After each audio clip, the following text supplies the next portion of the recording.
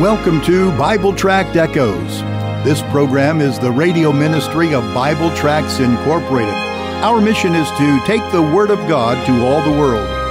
Our Bible teacher is the director of Bible Tracts, Pastor Mark Smith. Since 1938, Bible Tracts Incorporated has been publishing clear gospel tracts and supplying them to churches, missionaries, and individuals all over the world, and all at no charge. Information on how you can receive a free sample pack of our tracts will be given at the end of this broadcast. Now, for our Bible study, here is our teacher, Pastor Mark Smith. Welcome, my friend. Welcome, welcome to the program. Thank you so much for joining us today. It's a great honor that you would listen to the program. I hope you can stay for the whole time. Right now, my Bible is sitting open to the book of Ruth. So if you can, stop what you're doing, reach over, pick up your Bible, or turn on that electronic gadget of yours. Somehow or another, if you're able, join us in the book of Ruth, chapter 1, please. I've titled this particular uh, radio broadcast, A Reason to Return. That's my title for the broadcast. And by the way, I give a title to each and every one of our broadcasts If you go to our website, you can see those titles there as our broadcasts are displayed so you can re listen to them or listen the first time if you missed them. But join me if you can. Ruth chapter 1, get something in which you can jot some notes. There's three key things I'm going to be giving today that you and I need. I don't care whether you're saved, you're listening as a saved person, or you're lost in sin. These are three things all of us need. I've got a gospel tract here in my hand. I'll say something about here in a moment as well, but let me lead into the broadcast in our study time this way. Here's my question How are people's lives changed from being a person against God to becoming a person that's for God? Now, that's a process we'd love to see happen, isn't it? We'd love to see people who are unsaved and lost in sin turned so that they receive Christ as Savior and they begin to walk in godliness. Or we'd love to see a child of God who's been living in stubborn backsliding turn their life around, begin to walk again with Christ. Uh, we love to see that, but how in the world does that happen? Well, obviously, any spiritual transformation is solely the work of God, and to that we would all say amen. But we also know that God has chosen to accomplish the process of His work by using people. Historically, we call this the divine human cooperative. God does the work of changing lives, but God has planned in His process to use the labors of His people in His plan to see lives changed. Now, here in Ruth chapter 1, a woman's life is turned from disobedience to become a woman of faith. How does it happen? Well, get your Bible. I'm going to show you. Who knows? God may still want to do some changing in your life and mine. So, if He wants to see that happen, how is it going to happen? We're going to learn that today. I mentioned having a gospel tract in my hand. That word tract refers to an evangelism tool. It's a short, written presentation of God's plan of salvation. That's the only real thrust of our ministry here at Bible Tracts Incorporated. For 81 years, we've been publishing gospel tracts in different languages, giving them away all over the world. As I'm out in churches sharing the gospel, preaching Bible conferences and missions conferences, and talking about the work of God. I'm there for a key reason to encourage people to help us do the work of seeing lost people come to Christ by the power of a gospel tract. Faith cometh by hearing, hearing by the word of God. This particular gospel tract is entitled Coupon Faith with a question mark and it deals with the fact that people understand faith. They put their faith in coupons all the time, knowing frankly very little about the company behind the coupon. We need that kind of faith in the truth of the Word of God, knowing full well that the promises of God come from the eternal, loving Father who sent His Son to die on the cross, that we through Him might be saved. This gospel tract goes from the known about coupon faith to putting faith in Jesus Christ. It's a great, great gospel tool. I want to give it to you. At the end of the program, my announcer will give you our contact information. If you'll use it and give us your name and address, we'll send you a free sample packet, typically in the very next day's mail. You can, by the way, also go to our website, which is BibleTractsInc.org. And by going there, you can order that sample packet that way as well. All right, if your Bible is open, please go with me. Book of Ruth, chapter 1, verses 6 and 7 says this Then she, that's Naomi, arose with her daughters in law that she might return from the country of Moab, for she had heard in the country of Moab how that the Lord had visited his people and giving them bread. Wherefore she went forth out of the place where she was and her two daughters in law with her, and they went on the way to return into the land of Judah. Stop right there, please. Now, so far in our study here in Ruth, we have seen these things. Number one, we've seen a family living by their human logic rather than by the truth of God. Number two, we've seen a family facing a famine, which is obviously a serious real life trauma. Number three, we've seen the wrong decision to leave God's will behind because these people supposedly thought that they knew better than God how to conduct their lives. Number four, we saw a family further slide into worldliness and even allowing their sons to marry unbelievers. Number five, the family's sin is judged by God, and the leaders in the family die due to their stubborn, ungodly living. And then, number six, we saw the family's serious danger and peril that they're in now because the leaders disobey God, leaving three widow women with no prospects and, frankly, no hope.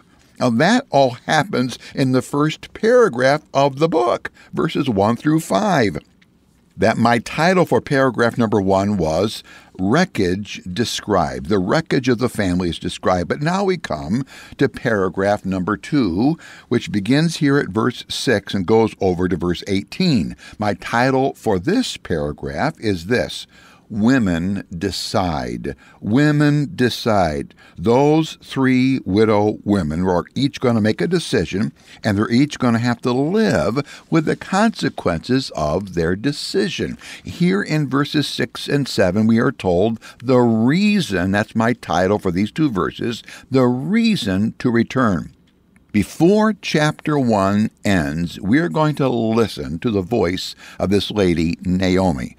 She is the Jewish lady who, along with her husband, moved the family out of the promised land into the country of Moab. She's going to own the fact that she was involved with her husband in the moving of this family against the known will of God.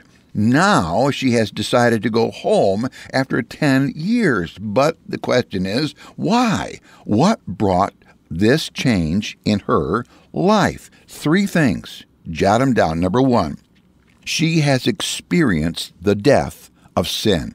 She has experienced the death of sin. She has seen her husband and two sons die.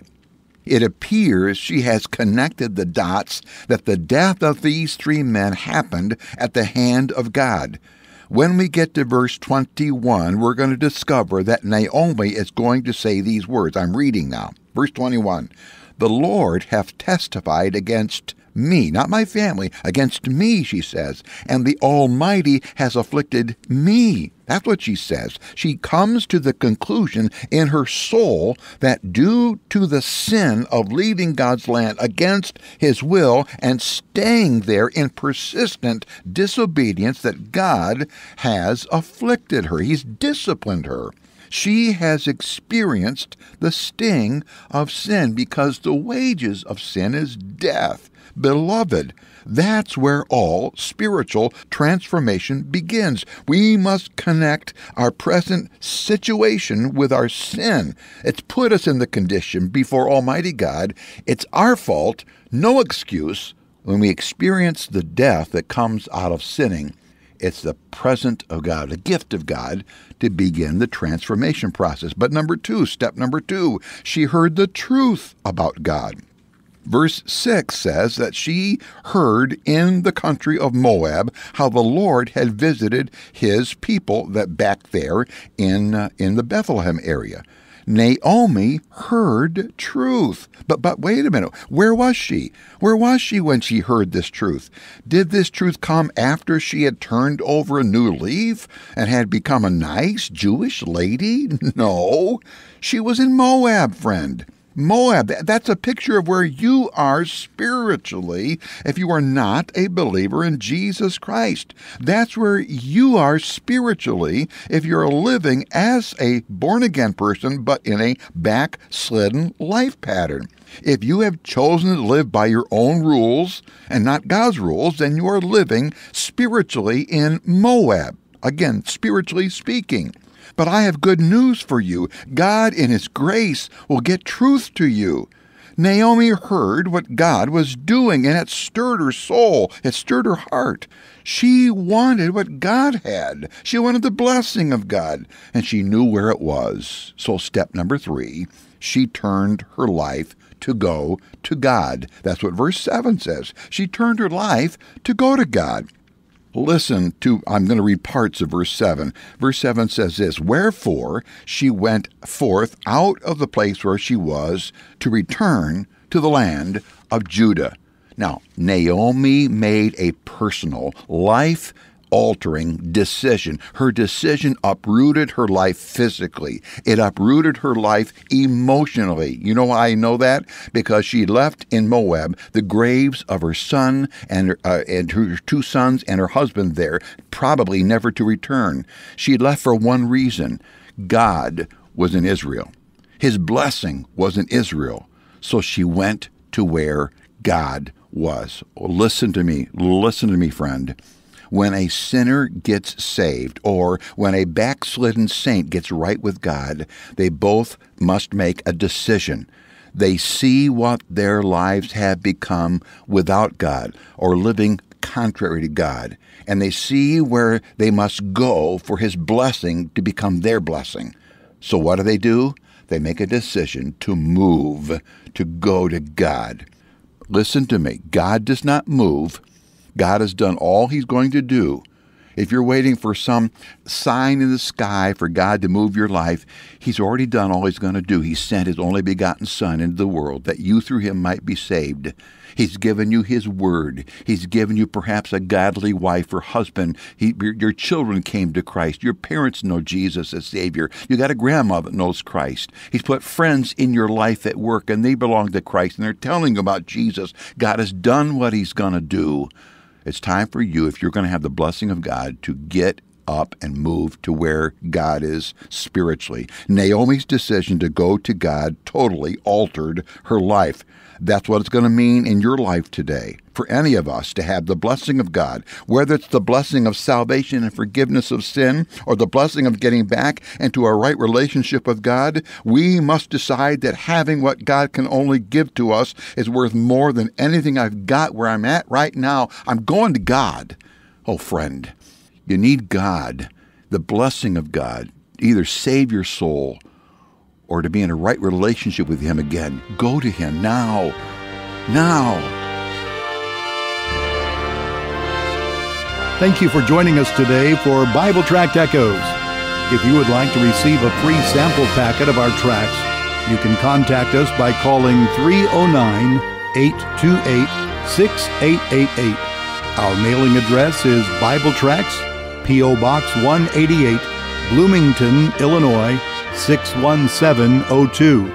Again, our phone number is 309 828 6888, and our mailing address is P.O. Box 188, Bloomington, Illinois 61702. You can also contact us through our website. Our web address is BibleTractsInc.org. Remember, the word tracts is spelled T R A C T S. That address is BibleTractsInc.org. May the Lord richly bless you as you serve Him.